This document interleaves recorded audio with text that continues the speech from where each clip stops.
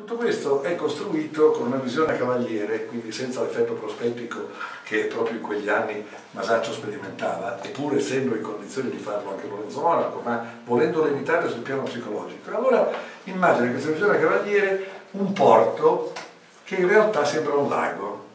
e quel lago ha dei presidi, chiunque vada sul lago trova, non so, sul lago Trasimeno, sul lago di Bolsena, piccole cittadine che si affacciano e quelli sono i castelli sul lago, li vedete? Ogni castello segna un luogo abitato del lago che in realtà eh, è un lago che a un certo punto si apre, come se appunto si potesse superare quel lago e mettersi in, una, in uno spazio aperto, quindi superare ipotetiche colonne d'Ercole. Ma quella chiusura è protezione, è il senso della salvezza, della tutela che San Nicola dà ai naufraghi e sa che li porterà in un porto sicuro, che può essere uno di questi, lì c'è una colonna, lì c'è una torre, qui c'è il porto più vicino e in fondo si vede oltre lo spazio di questo lago, comunque di questa apertura verso uno spazio più grande, si vede l'altra città lontana.